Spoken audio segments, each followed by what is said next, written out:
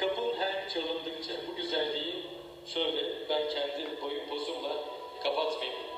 Efendim kapın her çalındıkça o mudur diyeceksin güfte ve beste. Yusuf Nalkesel, solistimiz Turgay Sevinç.